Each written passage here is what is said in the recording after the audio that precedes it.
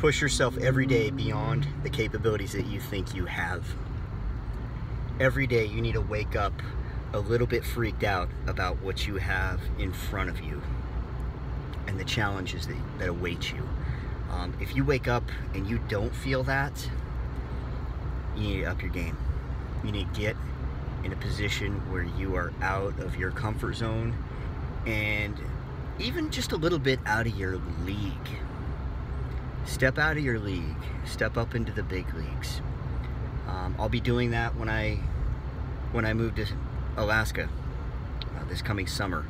I'm in the minor leagues right now, debatably, and I'm going up into the big leagues. And there's a part of me that scares the freaking hell out of me. I'm be totally honest with you, totally honest myself. I'm a little freaked out, but I'm where I need to be.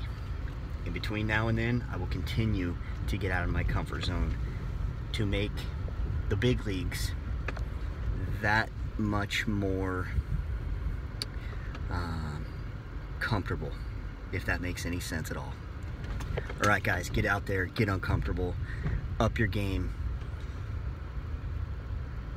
and do it. Just freaking don't be scared. You know, nothing scares me more in life than regret. I don't want to, I don't want it. So no matter what, you're gonna have some bit of, of regret in your life.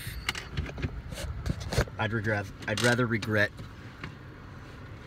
trying and failing than not trying at all. So get out there, get uncomfortable, get out of your your, your arena and push yourself to greatness. Have a great day.